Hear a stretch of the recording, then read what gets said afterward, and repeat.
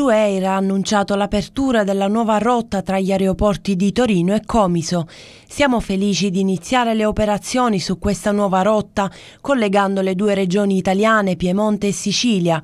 Il nuovo servizio domestico migliorerà ulteriormente la connettività e offrirà più opzioni ai nostri viaggiatori d'affari e di piacere. La nuova rotta mostra la rilevanza del mercato italiano per Blue Air ed è un'ulteriore riprova del nostro desiderio di crescere nella regione, ha dichiarato Karsten Schaeffer, Kiev Commercial Officer di Blue Air. In linea con la propria strategia di crescita, Blue Air effettuerà un servizio due volte a settimana per l'aeroporto di Comiso in Sicilia ogni martedì e sabato dal 6 aprile. Le tariffe partono da 19,99 e sono già disponibili sul sito ufficiale della compagnia. Il sindaco di Comiso Maria Rita Schembari nei giorni scorsi ci aveva comunicato che sarebbero nati in questi giorni appunto nuove rotte e nuovi contratti, avviando un processo di rilancio per riprendere la piena operatività dell'aeroporto. Nell'ambito della manifestazione Peace Festival, alla sua settima edizione, ieri è stato presentato per la seconda volta al Cinema Golden di Vittoria il cortometraggio Magic Show con protagonista un inedito e intenso Nino Frassica. Il film affronta il delicato tema della dipendenza da gioco d'azzardo. Scritto da Andrea Traina, che tra l'altro ha curato la regia, il film è stato promosso e finanziato dall'ASP di Ragusa, una proposta di progetto dell'UOC Dipendenze direttore il dottor Giuseppe Mustile. Il film si inserisce nell'ambito di un più ampio programma di contrasto alla dipendenza da gioco d'azzardo e con questo corto film si è sperimentata una nuova modalità di approccio nei confronti confronti della problematica presenti alla proiezione del corto con una folta platea di studenti degli istituti superiori, il direttore generale Angelo Aliquò, il direttore sanitario Raffaele Elia, il direttore dell'UOC Dipendenze, il dottor Giuseppe Mustile, accompagnato dalla coordinatrice del progetto Monique Gentile dal gruppo di lavoro. Naturalmente era presente il regista Andrea Traina, l'organizzatore del festival Giuseppe Gambina e per la città di Vittoria il commissario prefettale Tizio Filippo Dispensa. Il film era stato proiettato in anteprima l'11 dicembre.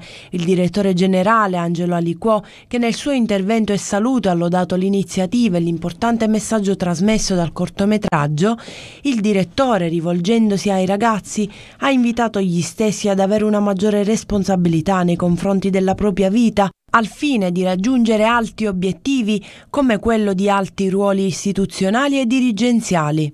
Giuseppe Mustile, dopo aver ringraziato per il lavoro svolto, il regista Andrea Traina ha invitato a soffermarsi sulla necessità di riflettere sulla problematica del gioco d'azzardo, nuova piaga sociale che ogni anno coinvolge sempre più persone. Il commissario straordinario Dispensa, applaudendo all'iniziativa, ha esortato i giovani a non giocarsi il futuro, investendo sulla propria crescita personale e culturale, perché il gioco illegale arricchisce solo la criminalità e impoverisce sempre e solo l'individuo. Il dottore Elia ha voluto dare un importante messaggio sull'importanza della prevenzione e sul valore della vita, in quanto bene prezioso da custodire e arricchire attraverso lo studio e la formazione al fine di evitare di imbattersi in pericolose tentazioni, quali il gioco d'azzardo. Magic Show è una fiaba moderna che restituisce la complessità del tema della ludopatia con suggestione ed empatia,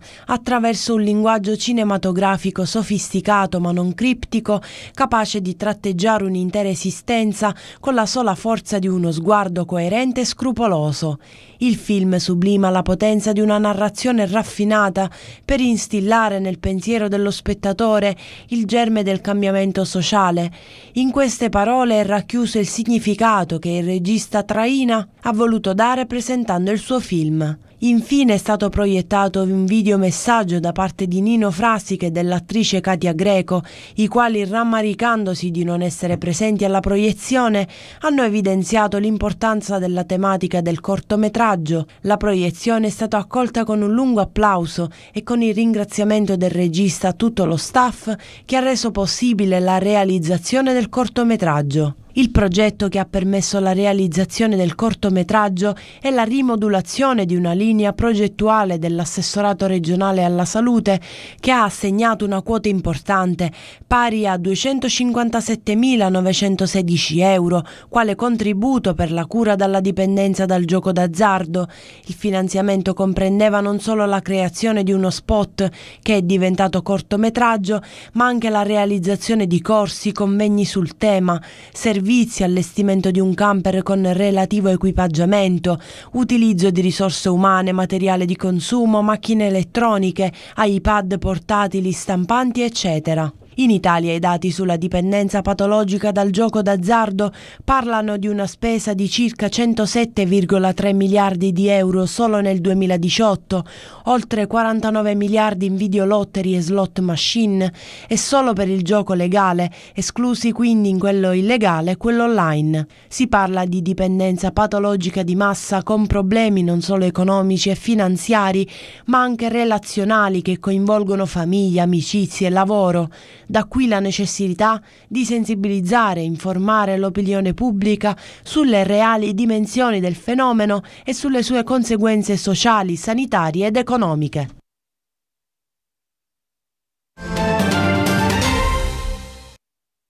La famosa invasione degli orsi in Sicilia di Lorenzo Mattotti, tratto da un romanzo di Dino Buzzati con la voce di Andrea Camilleri, ha vinto la settima edizione del Vittoria Peace Film Festival per aver toccato con eleganza pittorica, allontanandosi arditamente dal mainstream dell'animazione cinematografica, temi di capitale importanza quali l'inclusione, la pace la fratellanza, con un linguaggio in grado di catturare la platea più ampia.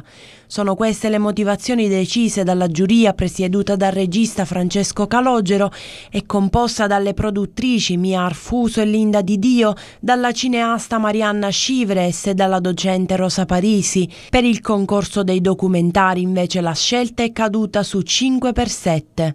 Il paese in una scatola di Michele Citoni per avere raccontato con stile sobrio un mondo che non esiste più, facendo ritrovare il senso dell'identità a una comunità attraverso gli straordinari scatti in bianco e nero di Frank Kanchan. Per il Festival dei Corti, selezionati dalla Filmoteca Laboratorio 451, diretta dal giornalista Andrea Di Falco, la scelta della giuria è caduta sul miglior cortometraggio Baradar di Beppe Tufarulo, mentre il premio speciale della giuria è andato al corto Il posto della felicità di Aliosha Massine. Il premio intitolato allo storico del cinema Sebastiano Gesù è andato al film L'età giovane dei fratelli Giampiere e Luc Dardenne, un film che sarebbe piaciuto molto a mio marito, ha chiosato la moglie Rosa Parisi durante la cerimonia di premiazione presentata dalla giornalista Daniela Citino e che ha registrato anche la presenza della commissione straordinaria del comune di Vittoria. Il Vittoria Peace Film Fest, ha detto il commissario Filippo Dispensa,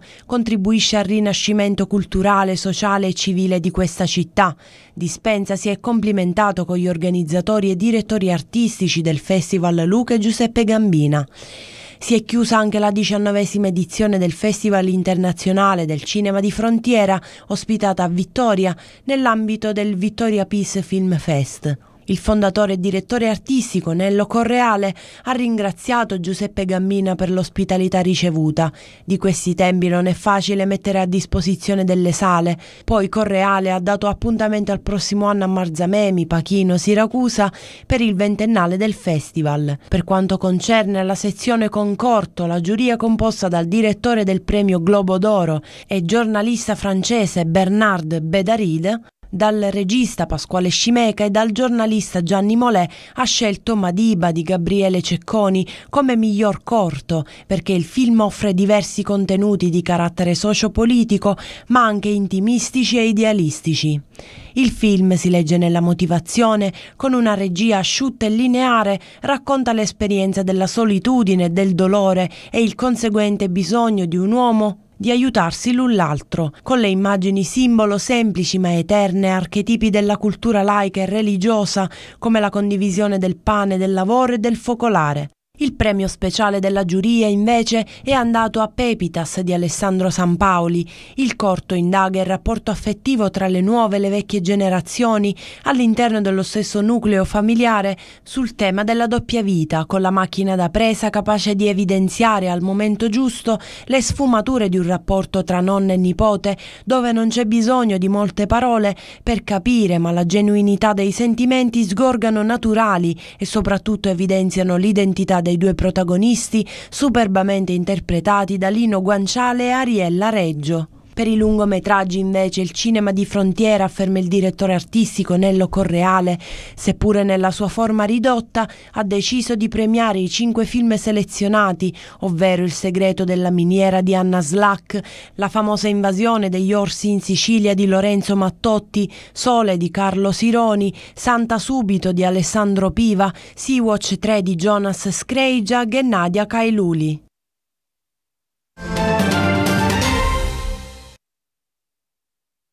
Nei giorni scorsi, grazie alla penna di Carmelo Abate e agli iscritti della sua pagina social Storie Nere, abbiamo appreso la storia di una nostra concittadina, Elisa, che ci ha colpito davvero per la determinazione e forza d'animo.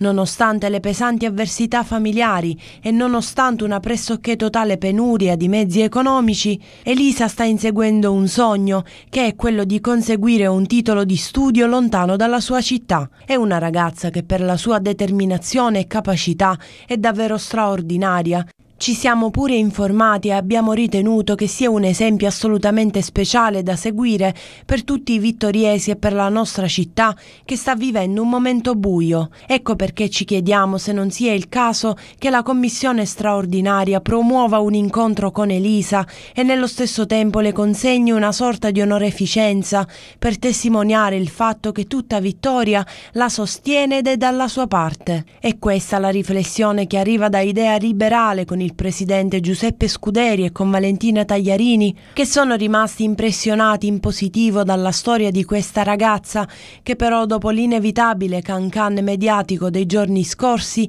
rischia di cadere nel dimenticatoio. Proprio per questo motivo, per evitare che la sua vicenda finisca nell'oblio, continuano Scuderi e Tagliarini, riteniamo che sarebbe opportuna un'attenzione speciale da parte di chi governa oggi Palazzo Iacolo. Questa ragazza ha compiuto e sta compiendo una straordinaria impresa nella sua vita contro tutto e contro tutti. È una ragazza che merita l'attenzione di tutti i suoi concittadini e sarebbe dunque bello se la stessa collettività riuscisse a produrre qualcosa di utile. Riteniamo che si possano trovare le strade politiche e perché no amministrative adeguate a sostegno di Elisa. Noi forniamo sin da ora la nostra disponibilità a compiere un percorso del genere e ci auguriamo che la Commissione straordinaria manifesti la propria sensibilità a tal riguardo e intervenga nella maniera migliore e più opportuna.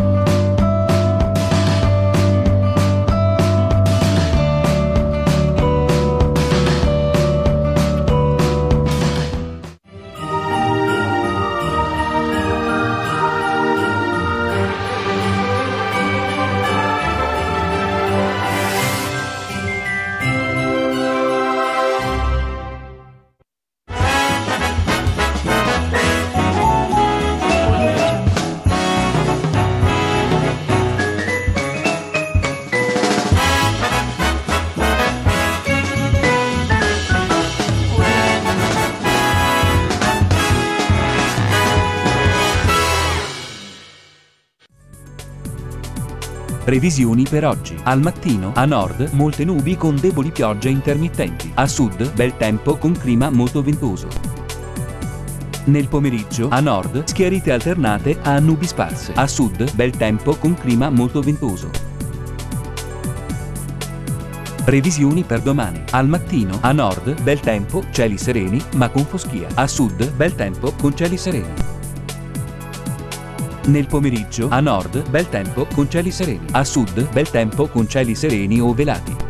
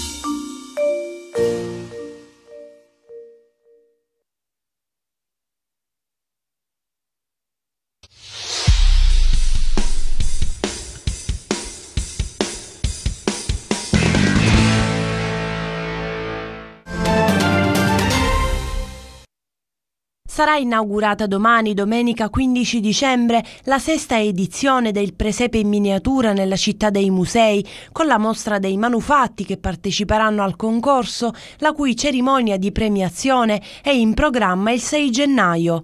I presepi potranno essere ammirati domani a partire da mezzogiorno, subito dopo il taglio del nastro, al Museo di Arte Sacra in Piazza Duomo. Quando si ha passione per quello che hai più può sembrare un hobby, ma è in realtà un impegno che ti parte da dentro a tutti gli effetti, afferma Vito Sammatrice dell'associazione L'Arco. Non stai a guardare quante ore lavori su ogni singolo pezzo, ma pensi solo a fare il massimo per renderlo unico. I presepi si possono fare di varie misure e modelli, dalla semplice mangiatoia con la Sacra Famiglia al presepe completo con re magi e pastori, dal classico presepe tradizionale al presepe palestinese a quello napoletano. Insomma, libero spazio alla fantasia anche per questa edizione del nostro concorso, giunto alla sesta edizione per quanto concerne i presepi in miniatura. Speriamo che siano in tanti a concorrere e vedremo poi chi saranno i premiati a insindacabile giudizio della nostra giuria in occasione della cerimonia che si terrà il 6 gennaio.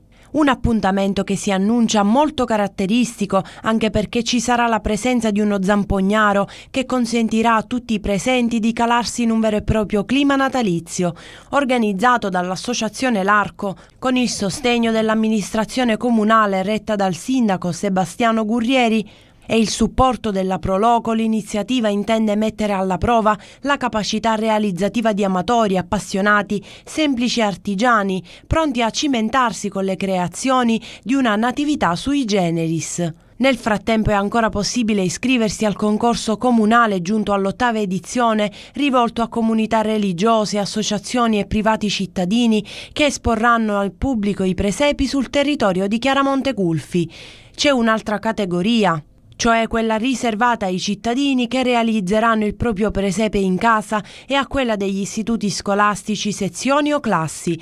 Per partecipare c'è ancora tempo fino al 20 dicembre, presentando l'apposito modulo presso l'ufficio turismo del comune di Chiaramonte, tutto ciò compilando l'apposito modulo di iscrizione scaricabile dal sito dell'ente locale all'indirizzo www.comune.chiaramonte.rg.it.